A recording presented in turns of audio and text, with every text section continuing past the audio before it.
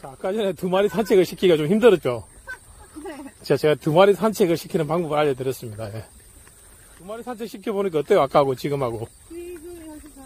교육받기 전, 혼란의, 혼란의 시대였고, 예, 교육받고 난 후, 근데 또 그때 왼손 산책 배웠을 때처럼 한국을 잡았어요. 어, 그리고 교육 시간 한 2, 3초밖에 안 되는데 그 2, 3초 효과가 커요? 너무 큰 것 같은데. 어, 2, 3초 배우기 전에는 이거 진짜 통제 불가능이었는데 두 마리라서 2, 3초 교육 후에는 두 마리 통제가 아주 잘 되고 있죠. 너무너무 잘 되고 있어요. 어, 교육의 중요성이 절실히 느껴지죠, 그죠? 알면 별게 아닌데, 진짜 아무것도 아닌데. 모를 때는 어떻게 해도 안 돼. 근데 배워서 알면 2, 3초면 해결이 돼.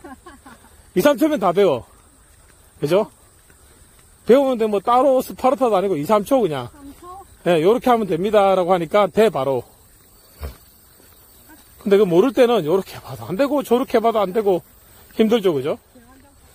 그래서 지금 많은 유튜브들, 훈련사들, TV에 나온 훈련사들이 제 채널을 보면서 공부를 너무너무 많이 해가지고 멘트까지 막, 어? 말 속도까지 흉내를 내고 막. 자, 돌 때는 어떻게? 그렇죠. 항상 그쪽으로 돌아주세요.